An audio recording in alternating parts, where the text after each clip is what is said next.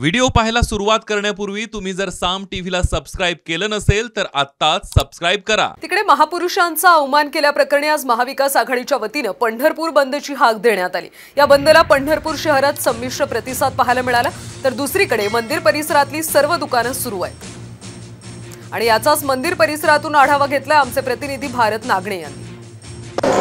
महापुरुषांच्या अवमान केल्याप्रकरणी आज पंढरपुरात महाविकास आघाडीच्या वतीने बंदची हाक दिलेली आहे. आज सकाळी नऊ वाजल्यापासून ते सायंकाळी चार वाजेपर्यंत हा बंद असणार आहे. दरम्यान आता आपण विठ्ठल मंदिराच्या परिसरामध्ये आहे संत नामदेव पायरीपाशी आज एकादशी आहे आणि भाविकांची देखील आज पंढरपूरमध्ये गर्दी आहे.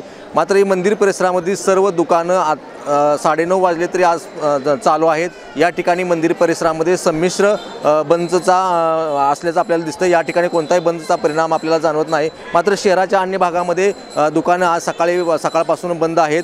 काही व्यापाऱ्यांनी बंदमध्ये सहभाग घेतलेला आहे. आज स- काँग्रेस असेल राष्ट्रवादी शिवसेना या सगळ्या पदाधिकाऱ्यांनी आज बंदची आव्हान केलेलं आहे. काही प्रमाणामध्ये बंद आपल्याला जाणवतो वरच्या भागामध्ये. मात्र मंदिर परिसरामधली सगळी व्यापाऱ्यांनी आपली आपली प्रासादिक दुकानं सुरू ठेवलेली आहेत.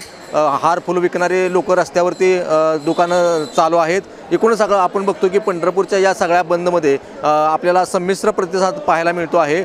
शिवसेनेने काँग्रेस आणि राष्ट्रवादीने या ठिकाणी बंदनंतर दुपारी सन शिवाजी महाराज पुतळ्यापासून ते तहसील कार्यालयापर्यंत मोर्चाचं देखील नियोजन करण्यात आलेलं आहे. कार्यकर्ते आता बंदचं आव्हान करताना आपल्याला शहरातून पाहायला मिळत आहे. मात्र मंदिर परिसरामध्ये कोणत्याही प्रकारचा बंदचा परिणाम आपल्याला जाणवत नसल्याचं पाहायला मिळत आहे. Bharat Nagane Saam T V news Pandharpur.